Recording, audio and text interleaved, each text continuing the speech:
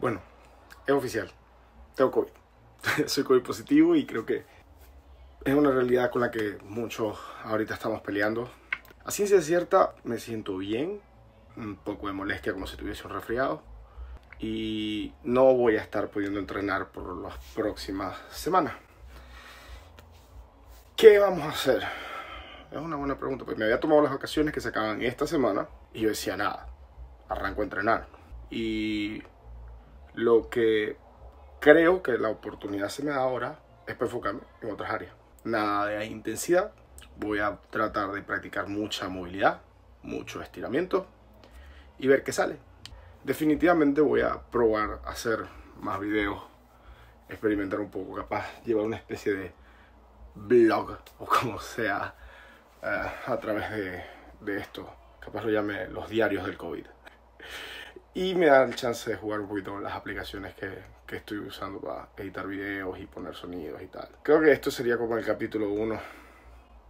Honestamente, honestamente, ¿qué sentí cuando, cuando vi el diagnóstico y era positivo? por una parte creo que me lo esperaba. Eh, esperaba que fuese positivo, no me estaba sintiendo muy bien, pero me pegó mucho, la verdad. fue un momento muy emocional de mi parte.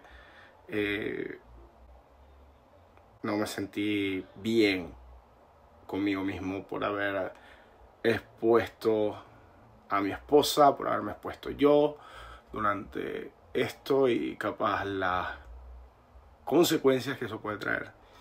Lo siguiente fue ya un poco más pragmático, definir qué va a pasar, cómo nos vamos a quedar, dónde nos vamos a quedar, qué vamos a hacer.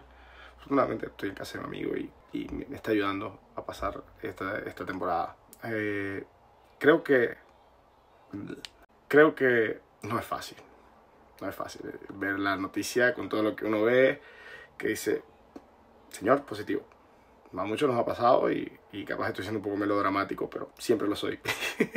y, y, nada, lo que, lo que pienso, lo que pienso es que tengo que afrontarlo y mientras me sienta bien, y lo pasando, eh, tengo la, la, esperanza de que sea algo leve, que no pase más de, del resfriado que siento ahorita. Y bueno, pensar de, de cuando esto pase, cómo voy a retomar los entrenamientos a poco. Porque esa es otra, que no puedo hacer mucho esfuerzo porque puede ser contraproducente. La que sí, sí voy a trabajar, lo que sí voy a trabajar durante estos días es mi movilidad.